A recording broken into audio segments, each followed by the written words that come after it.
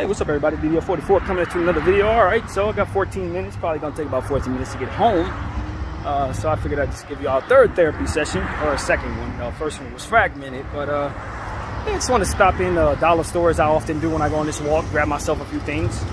Uh, soap, obviously I've been talking a lot about my soap stuff, so this is one place I can find uh, Pears, which is a cheap glycerin soap that is uh, friendly for the skin. So that's what it is, man. Just grabbing stuff that I can get on out uh, while I'm out and about and just uh, enjoying the, the, heat as it's starting to cool off a little bit uh, from where it was a couple hours ago or wherever it was when I was sweating my head off. But, uh, you know, it's, it's one of those summer days in LA, kind of gloomy, real dry, but still some breeze.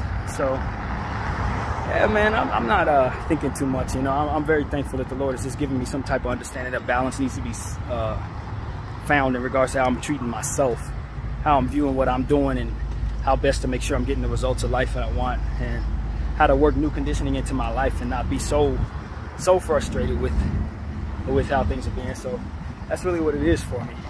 Trying my best not to be so frustrated. And two, finding myself in a space where uh, I can I can you know be thankful for what it is He's doing for me. God is doing for me. Uh, you know, just some of the doors that He's opening up in regards to my own mindset, allowing me to share my art, allowing me to consider certain ideas of what can help myself, letting the GR uh, information come my way by way of something that was just simply a fortuitous mistake. And so just a lot of stuff is falling into place, and I think that's what prayer is all about, getting some good luck as well. So I'm looking forward to more good luck being found Hope they find this latest. Hopefully I can help in some way, you know what I'm saying?